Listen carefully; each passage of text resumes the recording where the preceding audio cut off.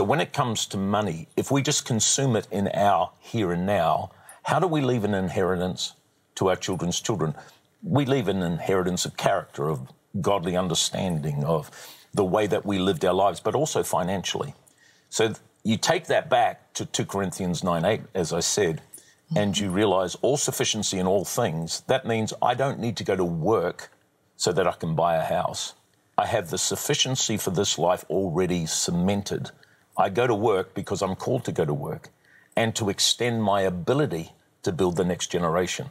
And I would contend in God, Money, and Me that in one generation, your grandchildren will not have to live the life you had to live directed by money. And people say, well, money's not my God. Yes, but it directs all of our holidays, directs mm-hmm. where we live, di- directs how we live, and the difference we can make in others. Yeah. So it really caused me to go, oh, I've got to get into God's Word and find some real answer of how I can live a different way. A generous heart I had always had.